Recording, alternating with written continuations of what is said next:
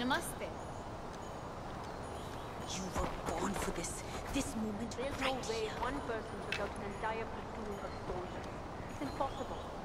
I wonder if they ever stop to consider that this girl might punish the rest of us for their actions.